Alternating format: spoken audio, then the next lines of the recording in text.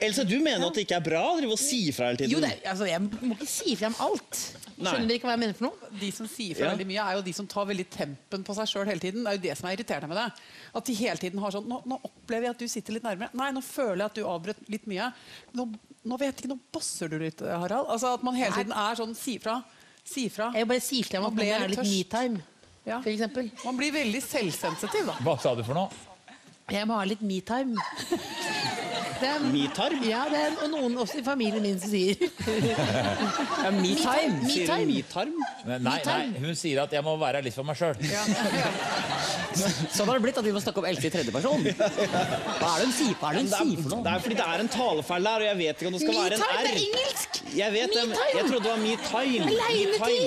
Me-timen min. At det er me-time. At det er en time som må veie Ja, timen. Me-time. Nå er jeg aleine litt igjen. Jeg legger den ut her, og nå er jeg litt der. Jeg har respekt for meg selv, jeg snakker ikke om tarmen min på TV. Nei.